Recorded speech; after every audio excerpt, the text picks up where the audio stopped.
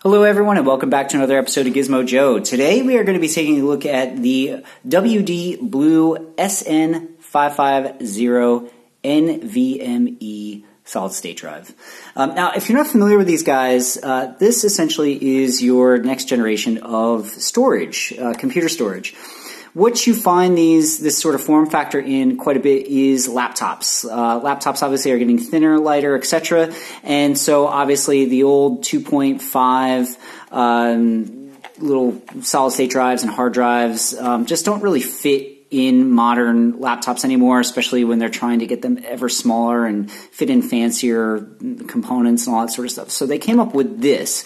This is what we call an M.2 form factor. And basically, it looks like almost like a pack of gum or something when we um, are, open it up. I'll show you in a minute. But essentially, um, they're really, really light, and they can be installed on desktop PCs if you have a motherboard that sort of supports it.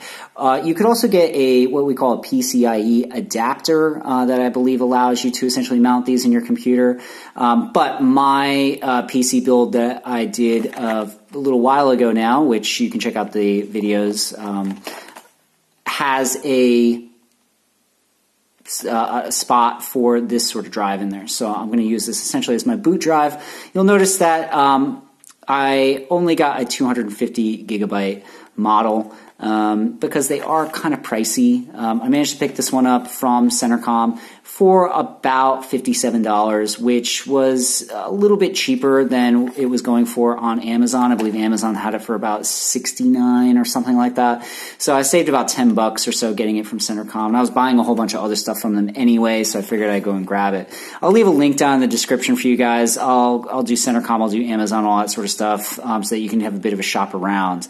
Um, now, What's interesting about these guys is their speed. So um, they typically are considered to be much much faster than your standard 2.5 uh, solid state drives. Um, and I mean, you know, the advertisement on the back here says build the ideal PC with dual storage using a Western Digital NVMe solid state drive plus a hard drive. So you can use a larger hard drive for storage and then obviously this as your boot drive, which is what I'm planning on doing. Although um, I'm probably going to use this as my boot drive and then still use another solid state 2.5 solid state SATA drive for um, some storage on my PC build.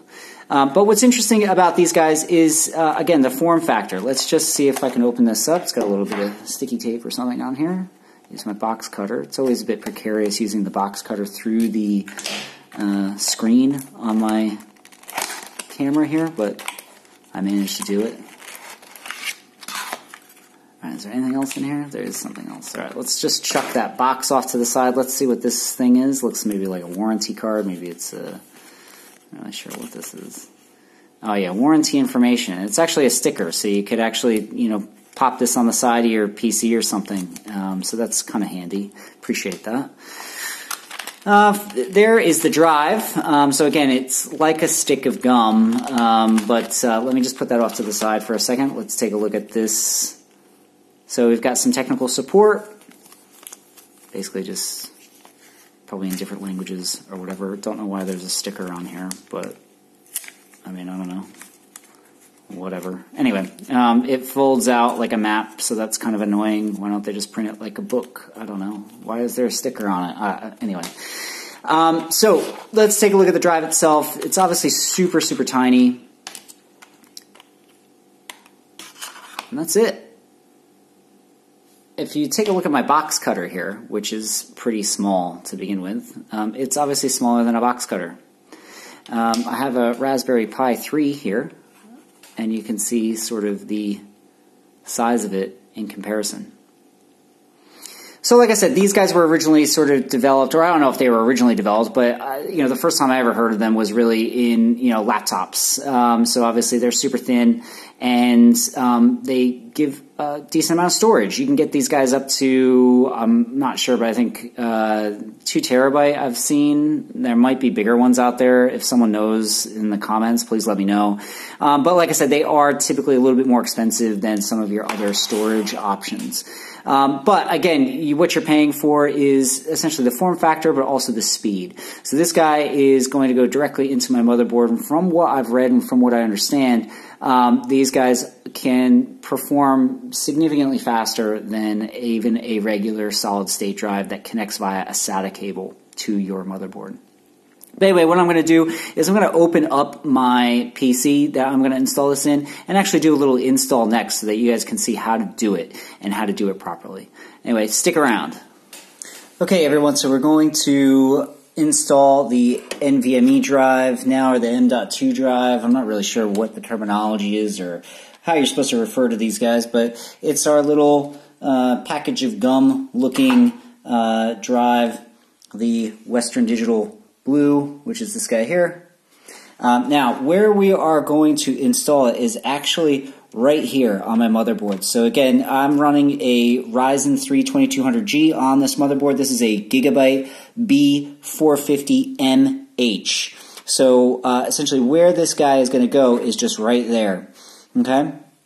And there's different sizes to these M.2 drives. I believe they're, uh, I think they're 40, 60, 80, and it's usually in the model number. It will tell you what the size is. This is an 80, so it's one of the longer ones that are available, but you can get different sizes.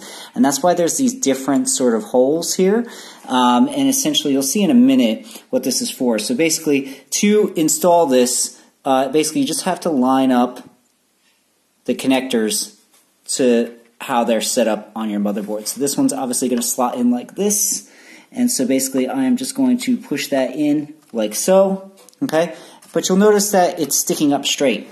Now, before I press record, and I'm sorry to, my giant hand is in the way, um, there was this stopper here. I know you guys have a hard time seeing that, but it's a little black stopper thing and it was a real pain to lift off my motherboard. I really had to yank this thing out of there. But basically what this is going to do is once I plug this back into its little hole here, it's going to hold this drive down. Some motherboards have screws that you essentially have to screw in, uh, but this one's got a little plastic stopper. So I'll do that now so that you don't have to look at my hand for however long it takes me to do it. And then I'll show you what it looks like when I'm all done. Okay, so as you can see, the uh, drive is connected to my motherboard now, and basically it has that little stopper, which I just plug back into its little hole, and it's keeping this guy uh, flat against my motherboard or just a bit off. But uh, yeah, that's it. Um, super easy. Like I said, these guys are a bit expensive, but you get better performance out of them.